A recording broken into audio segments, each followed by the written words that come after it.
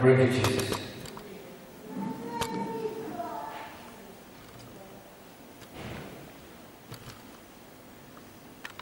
It is us for our sinful self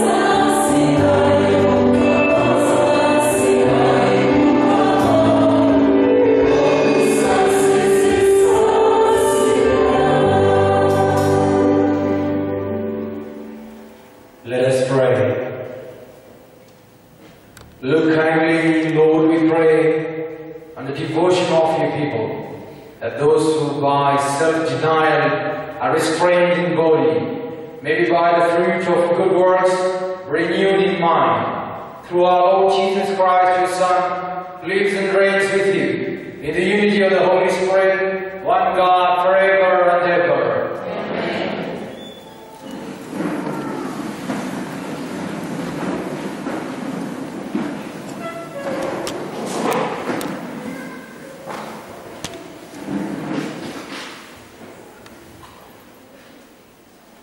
The people of Canadian time from their evil way.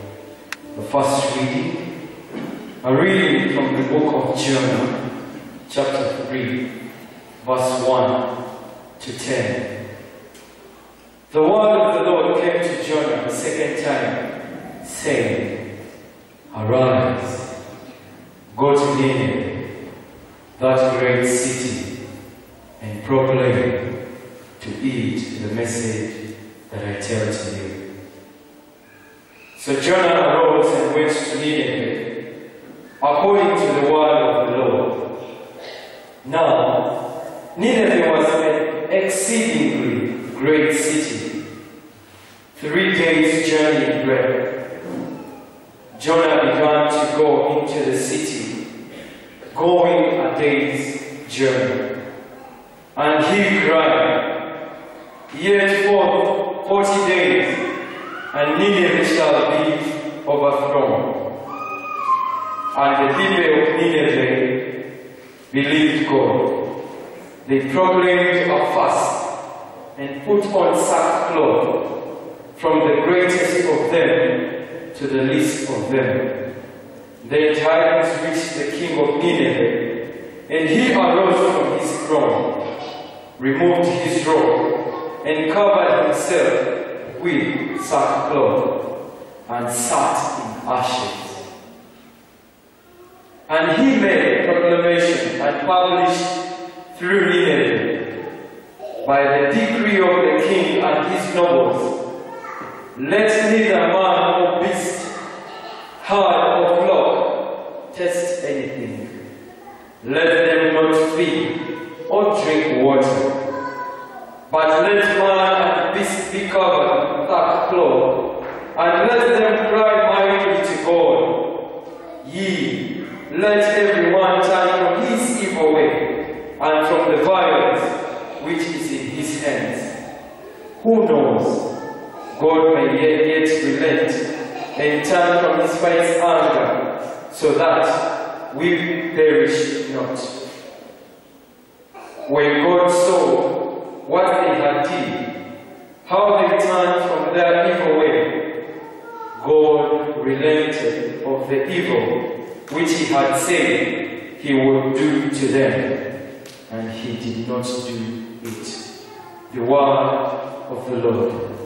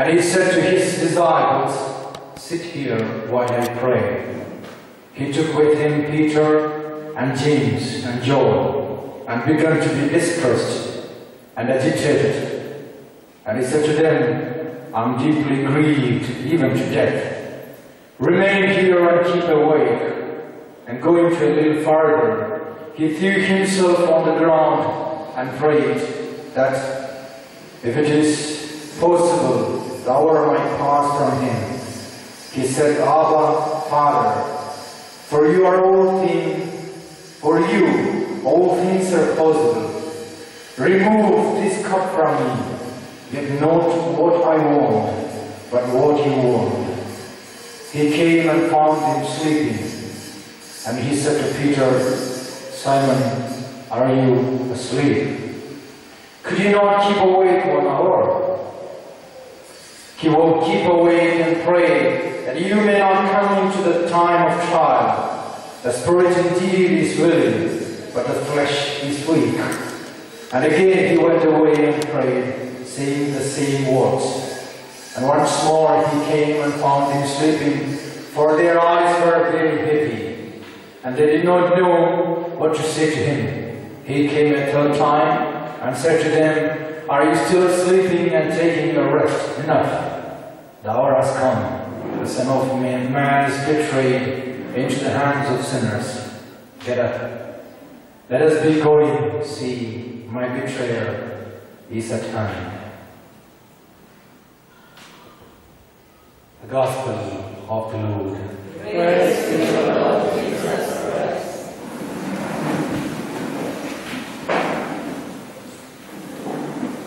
dear brothers and sisters in Jesus Christ, God is good. All the time.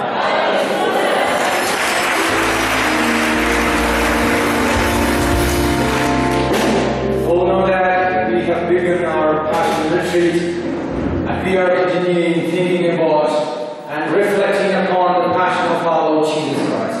tutanze olusirika lwaffe olw'okulamula kwa kristo era nga tugenda mu maaso nga twebuulirira era nga twefumitiriza kubonaabona kwa yesu kristo And this is a beautiful passage from the Gospel to reflect upon the hours of Jesus who spent his time before his death in the Garden of Gethsemane.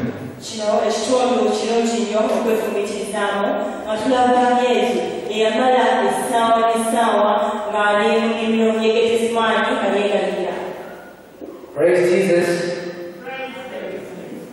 Praise Jesus. So let us, each one of us, every one of us, we are traveling with Jesus and his disciples to the Garden of Gethsemane.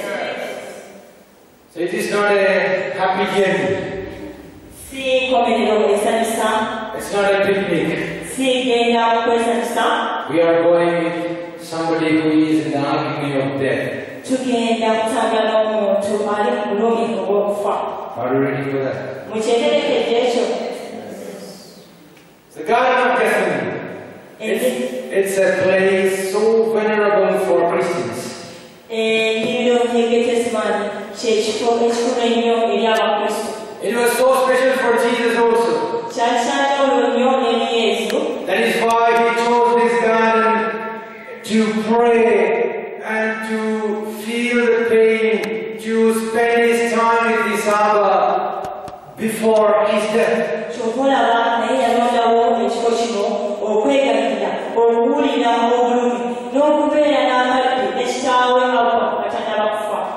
So when we are traveling with Jesus, when we are walking with him to this garden, let us all understand that we also will feel the same pain. We should see we should experience in the, oh, sorry, not saying, Pope Benedict XVI, when he is writing about this God, when he is explaining about this God, he will say like this, each person who is going in now, now, at this time, each person as a pilgrimage, when they go to this Mount of Olives, when they go to this garden, they will feel those happiness Jesus felt in his body, in his mind, in his soul, the same feelings they will get there. buli omu anatambula ne yesu mu lugendo luno ng'agenda mibiro eno ayina yawulira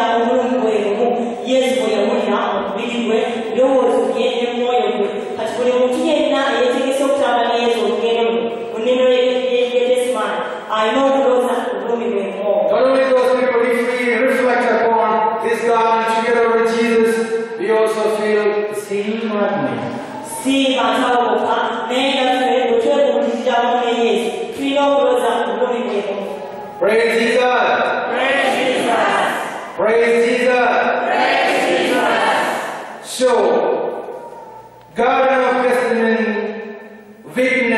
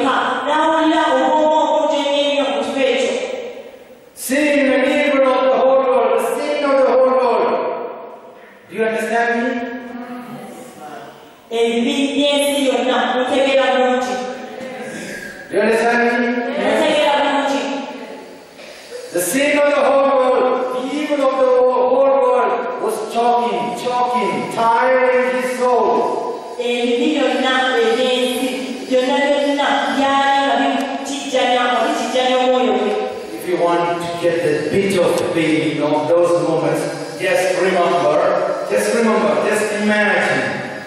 ng'oyagala okuloza ku katono ennyo ak'okaseera ako oweefumiitirize Tomorrow, somebody will kill you very badly. nti enkya omuntu agenda kutta bubi nnyo What is your feeling? onoowulira otya Wow,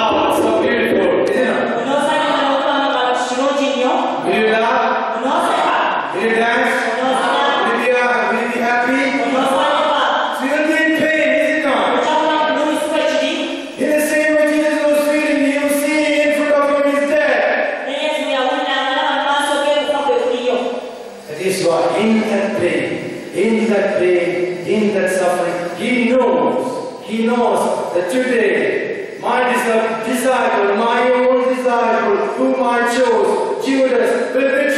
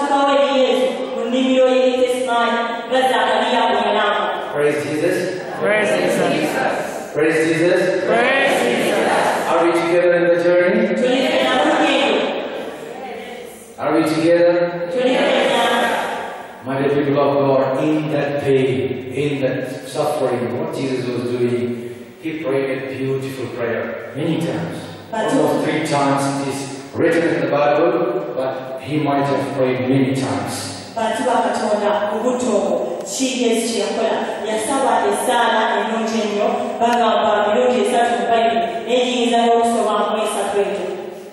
They went to disciples of Jesus, and Jesus, they went to this place after the recitation of the psalm. Now Jesus desires to pray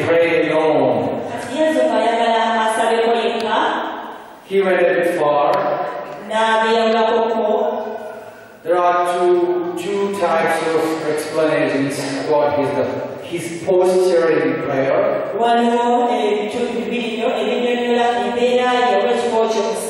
Matthew, in the Gospel of Matthew and the Gospel of Mark, it says he falls, falls completely on his face.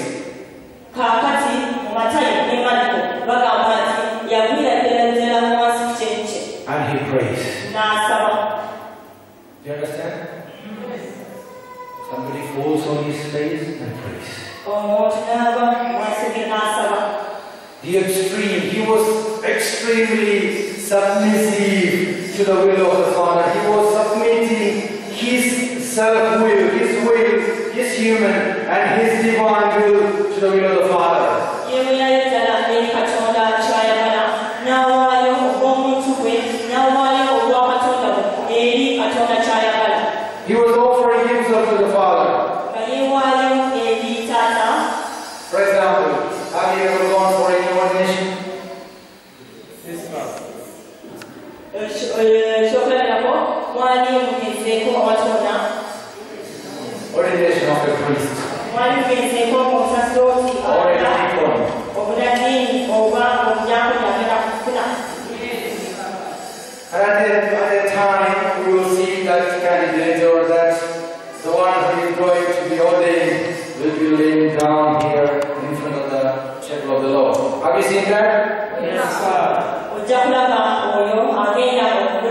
But yeah,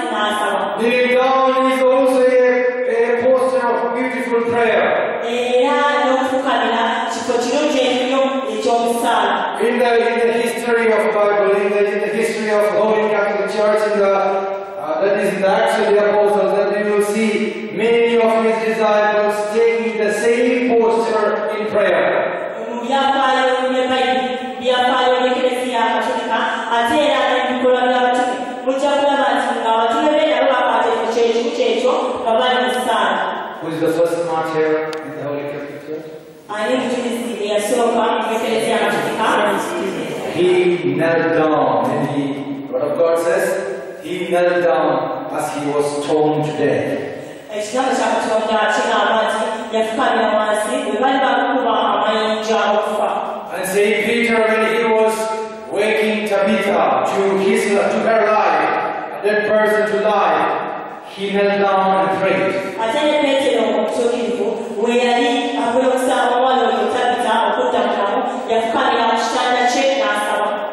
And Saint Paul, before the elders of Ephesus, he was kneeling down and praying. era ne pawulo omutuukirivu mu maaso g'abakulu ab'efeso yafukamira wansi n'asaba So this is a beautiful poster. And in the history of Catholic Church, Catholic Church, all the disciples, when they heard about martyrdom, when they heard about martyrdom, they knelt down and prayed. So this poster becomes a beautiful posture of prayer before receiving martyrdom. kino kifo kirungi nnyo mu ekelesiya katolika era n'abajulizi n'abatume be bonna bwe bawulira okuttibwa kw'obujulizi ne bafukamira wansi ne basaba E kubanga okufukamira kyekifo oba kyekikolo ekiraga ekirungi ennyo